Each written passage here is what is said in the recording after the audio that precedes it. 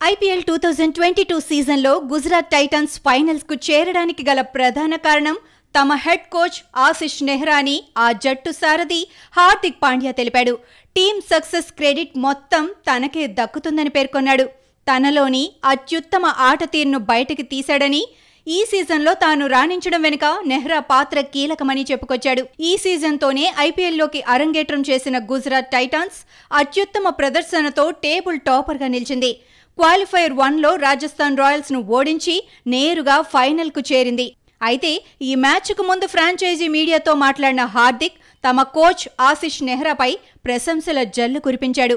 IPL two thousand twenty two season ప్రారంభానికి ముందే నా సోదరుడు కృణాల్ పాండ్యాతో మాట్లాడుతూ నా అత్యుత్తమ ఆటను వెలికి తీసే సత్తా ఆశిష్ నెహ్రాకే ఉందని చెప్పా. ఆయనతో కలిసి ఆడటంతో పాటు ఎక్కువసేపు గడుపుతూ ఉంటాను. అతని కంపెనీని నేనెప్పుడూ ఆస్వాదిస్తాను.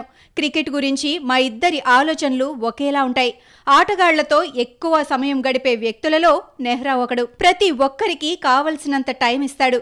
గుజరాత్ సక్సెస్ క్రెడిట్ నెహ్రాతో పాటు సపోర్ట్ స్టాఫ్కు ఇవ్వాలి. డ్రెస్సింగ్ రూమ్ వాతావరణాన్ని వీళ్ళు ప్రశాంతంగా ఉంచేవారు. నా కెప్టెన్సీ విషయానికి వస్తే జట్టులోని ఆటగాళ్ళకు ఎవరి బాధ్యతలపై వారికి క్లారిటీ ఉంది. జట్టు విజయం కోసం వారు చేయాల్సిందల్లా చేస్తున్నారు. దాంతో కెప్టెన్గా నా పని సులువవుతోంది.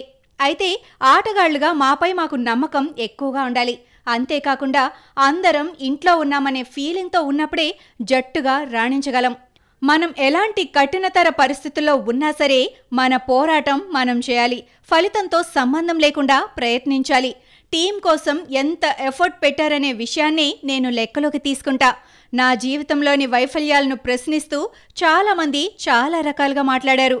మెగా వేలానికి ముందు నన్ను తీసుకోరని రిటైన్ చేసుకోరని చాలా విమర్శలు చేశారు. అయితే వాటికి సమాధానం చెప్పడానికి ఇది సరైన మార్గం కాదనేది నా అభిప్రాయం. నా గురించి తప్పుగా మాట్లాడి విమర్శలు చేసిన వారిని ఆ వ్యాఖ్యలను వెనక్కి తీసుకోమని నేను కోరను. ఎందుకంటే ఇప్పటికే వారంతట వారే నాపై చేసిన వ్యాఖ్యలకు పశ్చాత్తాపడుతున్నారని భావిస్తున్నా అని హార్దిక్ పాండ్యా పేర్కొన్నాడు.